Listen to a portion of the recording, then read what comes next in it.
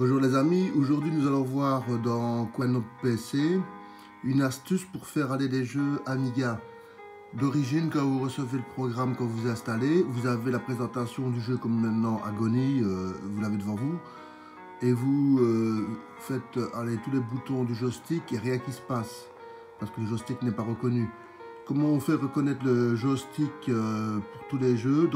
À chaque fois que vous allez jouer à un jeu Amiga, malheureusement, moi je connais que comme ça.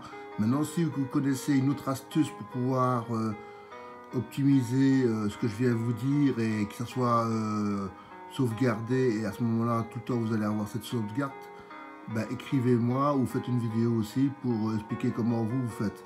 Moi, je vous explique mon astuce à moi. Donc ici, le jeu, vous l'avez en présentation, mais vous ne savez pas jouer. Donc j'appuie sur tous les boutons, ça ne marche pas. Faites comment? Faites F12.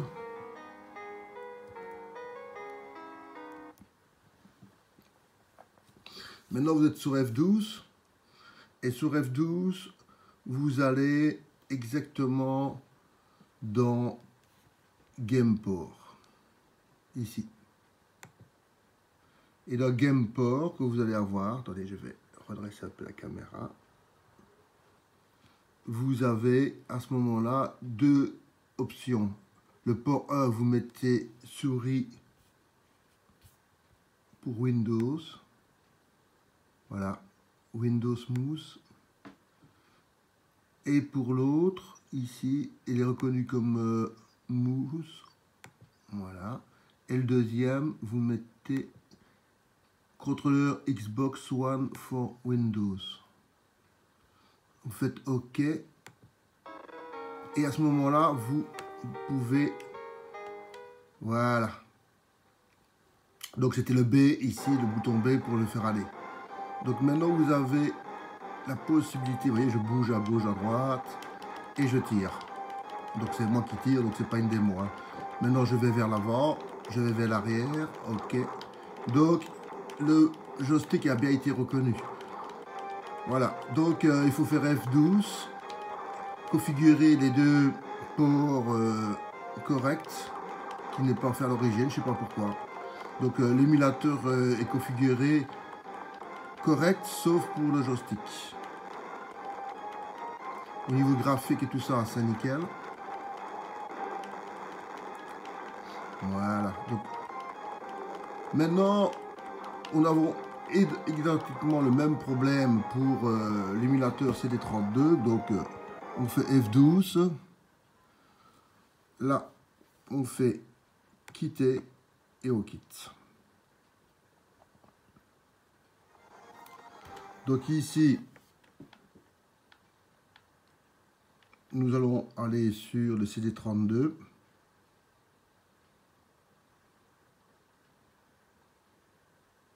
Voilà, CD32.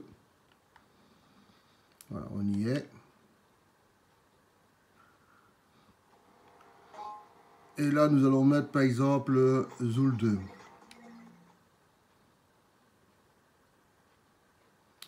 Dans le CD32, il y a des jeux qui sont reconnus d'office euh, avec le joystick et d'autres qui ne le sont pas. Donc euh, voilà, donc ici, on va voir s'il est reconnu ou pas. Presse euh, rouge pour jouer à...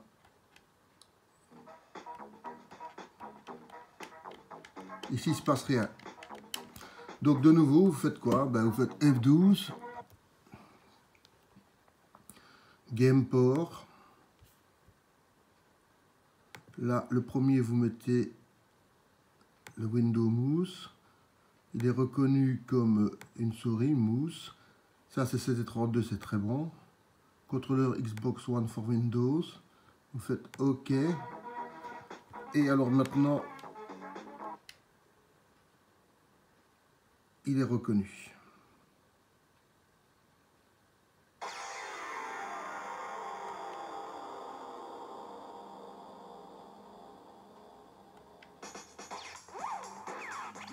Voilà. C'est ma petite astuce pour faire reconnaître euh, l'émulateur Amiga pour euh, le PC.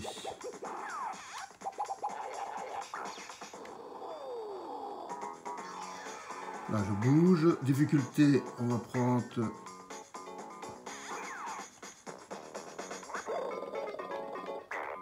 Easy. Start. On va prendre la fille. Hein. Voilà. Le bouton X en bleu pour le faire aller.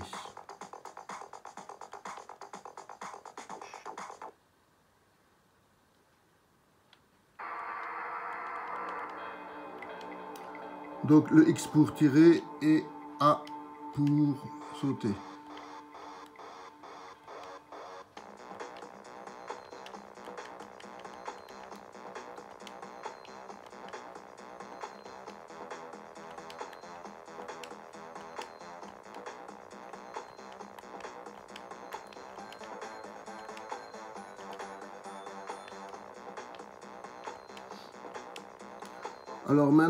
L'autre problème que j'ai eu, donc vous faites F12 pour euh, quitter.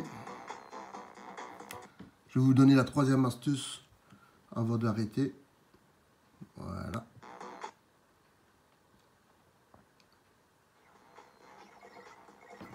C'est ici, j'ai eu le, un problème aussi. Je vais vous montrer.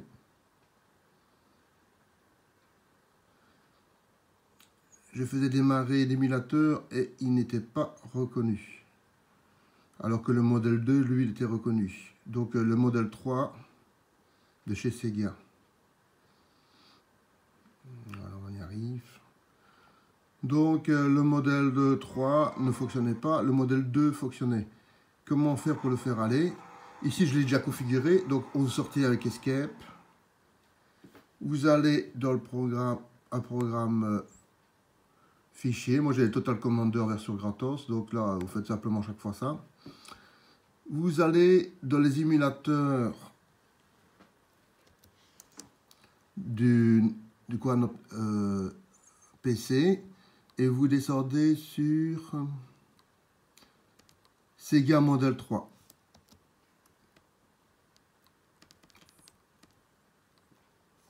Vous faites Sega Model UI.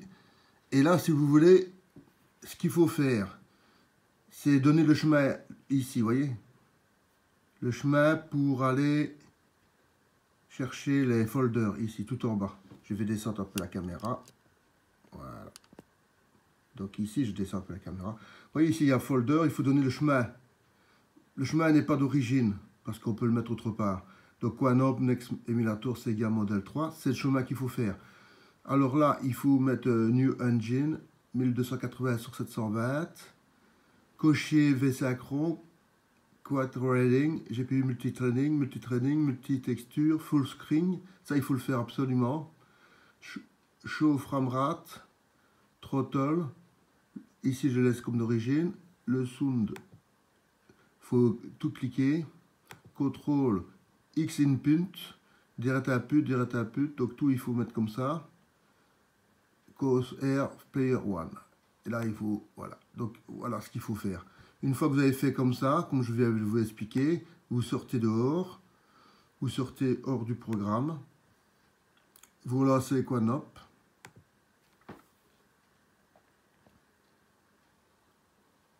C'est un programme qui est lourd, hein. donc ça veut dire que quand vous allez euh, lancer, le jeu, il est beaucoup plus lourd, parce que moi j'ai une petite machine, un jeu normal, donc il faut, ça prend un peu plus de temps pour que ça fonctionne. Hein.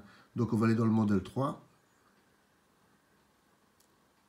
Donc si vous ne faites pas ça, l'émulateur, quand vous l'installez, il ne démarre pas. Hein.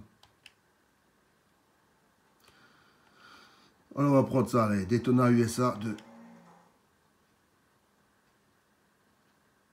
Donc les trois astuces que je vous ai montrées, je les ai trouvés par moi-même, hein, donc j'ai pas, j'ai pas été sur internet, j'ai un peu réfléchi pourquoi ça n'allait pas, été voir le, voilà. Et à ce moment-là, euh, j'ai trouvé. Voilà, ça fonctionne. Là, c'est pour sortir dehors le, Voilà. Donc on va relancer parce que j'ai fait, je l'ai sorti. Normalement, dans les autres jeux, c'est le bouton qui sert pour mettre les crédits, sauf qu'ici, ça sert pour sortir du jeu. Donc, euh,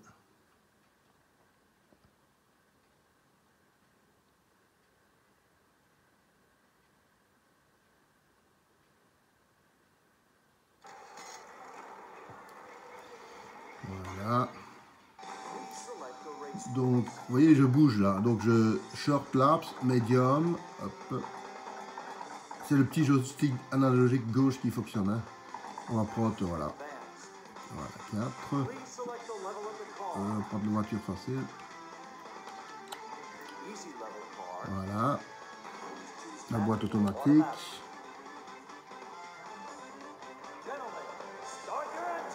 Là, je vais mettre un peu de son pour finir. Il n'y a plus d'explications à donner. Fonctionne bien.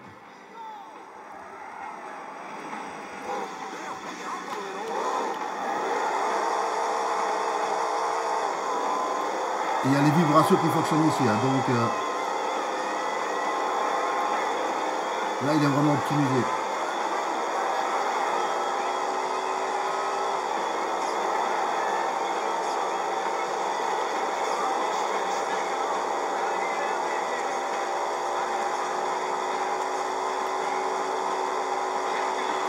Circuit magnifique. Hein.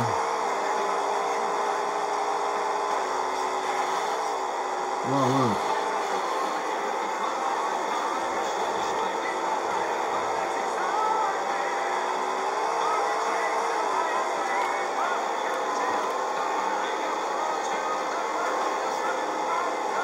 Maintenant, il faut un peu freiner. Vous n'avez pas freiné au départ.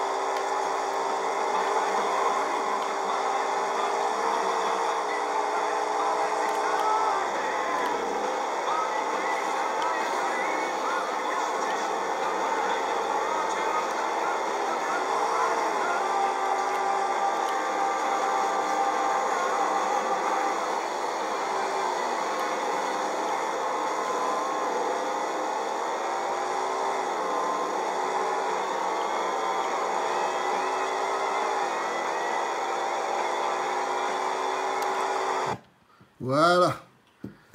Que dire euh, du modèle 3 euh, Fantastique. Hein Donc ici Daytona 2, euh, quand vous avez réussi à bien mettre la configuration, est quand même beau. hein.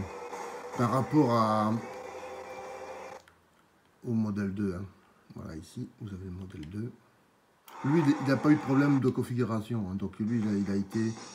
Voilà.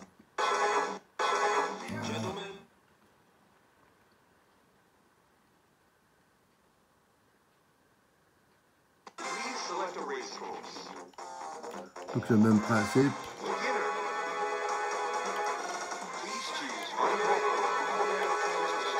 Ça c'est le modèle 2. Start your engine. avec évidemment un graphique beaucoup plus euh,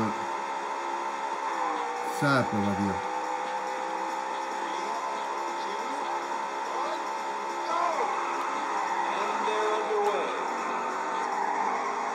Mais ça le modèle 2 a quand même un beau graphique, mais par rapport au modèle 3, euh, on voit la différence euh, qui saute aux yeux.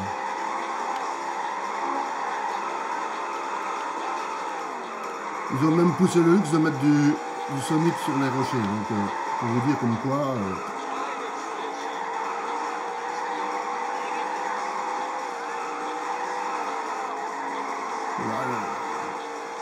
C'est toujours quand même agréable à jouer, hein, donc ça reste comme un jeu mythique. Hein, Daytona, regardez, comme c'est beau. Ici, les effets de dégâts sur la voiture ne sont pas euh, activés, donc euh, c'est quand même quelque chose y a comme différence euh, par rapport au modèle 3. Le modèle 2 est moins sophistiqué, malgré qu'il est déjà beau. hein.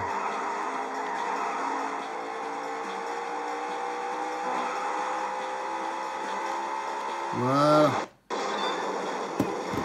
Alors ici, je sors du jeu. Ici, les deux boutons euh, pour sortir du jeu restent actifs. Ben, J'espère que cette petite vidéo euh, d'astuce euh, sur le Quanop PC vous, pourra vous servir pour, pour vous-même. Donc on a vu l'Amiga, l'Amiga CD32 pour faire reconnaître le joystick et pour faire démarrer le modèle 3 de chez Sega, comment il faut faire au niveau euh, de ces des chemins de direction, au niveau des ROM et tout ce qui s'ensuit, de l'émulation. Si vous ne le mettez pas identiquement euh, comme moi je l'ai fait, vous ne le faites pas démarrer. hein. Donc il faut vraiment faire identique à ce que j'ai fait, ça va? Un gros bisou à tous, j'espère que cette vidéo vous aura servi à quelque chose. Gros bisous à tous les potos